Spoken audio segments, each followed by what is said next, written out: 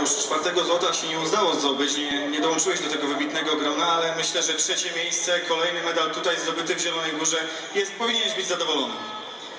No patrząc na cały sezon, to na pewno jestem zadowolony, bo jednak nie jest najlepszy.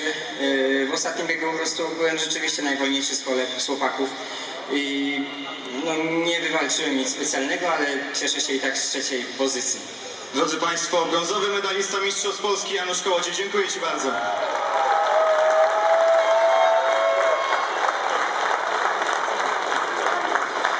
Piotr, rozmawialiśmy podczas zawodów, mówiłeś, że spokojnie będziesz chciał na luzie dojechać. Srebrny medal w takim gronie, tak młodego zawodnika, wielkie brawa i czapki z głów za dzisiejszą jazdę.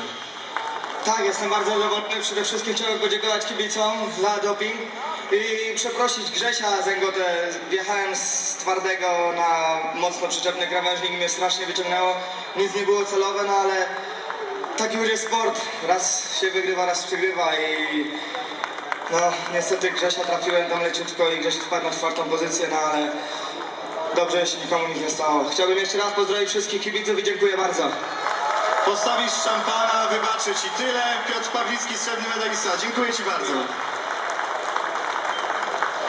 Krzysztof, przed rokiem się nie udało, był tylko srebrny medal w Tarnowie i były gwizdy. Ja mam nadzieję, że dzisiaj będą wielkie brawa, a Ty potwierdzasz, że w tym sezonie jesteś najlepszym polskim zawodnikiem. Brawo Krzysztof, kaczka czeka, jak tylko wrócisz do domu.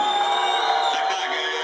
E, trzy razy byłem wicemistrzem Polski, więc mówię, jak nie dzisiaj, to kiedy. I mimo tego defektu zmobilizowałem się i tam chłopacy trochę chcieli w pierwszym łuku tam troszkę się znowu powozić po płotach, ale ja przyciąłem i szybko uciekłem, więc dziękuję za te gwizdy i mistrz Polski jedzie do Gorzowa. Dziękuję. Dziękuję, tyle Krzysztof Kasprzak, gratuluję Krzysztof.